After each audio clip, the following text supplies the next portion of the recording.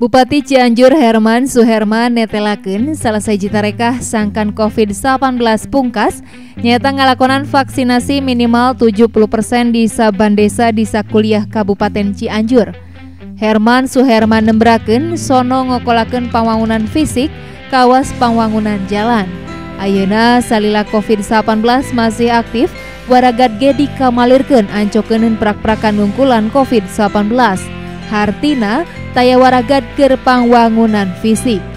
Herman Suherman umajak masyarakat Kabupaten Cianjur seganjangna divaksin dumeh tepi kakiwari anuges divaksin di Kabupaten Cianjur kakara opat puluh tilu persen.